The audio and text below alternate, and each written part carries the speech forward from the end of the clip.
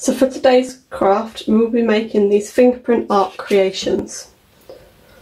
To make these, you will need some ink pads, some felt tip pens or some paint to create your fingerprints with. You will also need a fine marker or felt tip pen to add extra details with and then either your background templates or the comic template to create your fingerprints on. If you're feeling up for a challenge you might want to create today's story on the comic strips.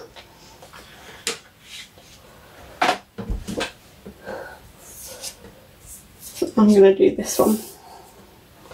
So to create your fingerprint creations, you're just going to either dip your fingerprint into your paint or put it onto your ink pad and place your finger on, or you're going to do what I'm going to do and use felt tip markers and colour in your fingertips and place them down onto the paper. So I'm just going to start by colouring in my fingertip and then creating fingerprints by pressing my finger down onto the paper quite firmly. Like that.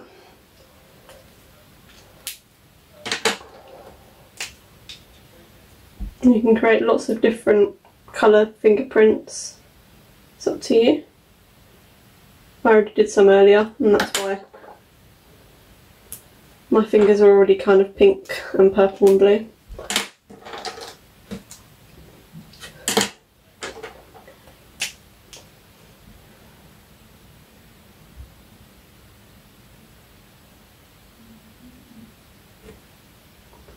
And there's lots of different ideas in your books that give you different ways of creating different animals and people if you have a look in those.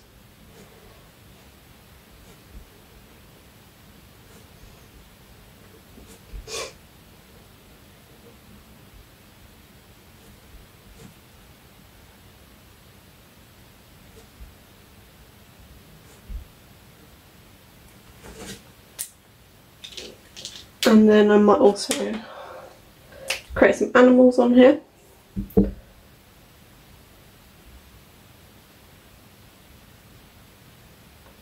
It's up to you what you do, whether you want to tell a story or create a family. Whatever you like. Use your imagination. I'm going to create a cat. There's its head. I'm going to give it a slightly bigger body, so I'm going to draw bigger circle. Remember that using different fingers will give you different size dots as well. So your little finger will give you little fingerprint dots and then your other fingers will give you bigger ones and your thumb will give you the biggest. And then you can use your fine felt tip or your marker add extra details to your fingerprints like I'm doing here.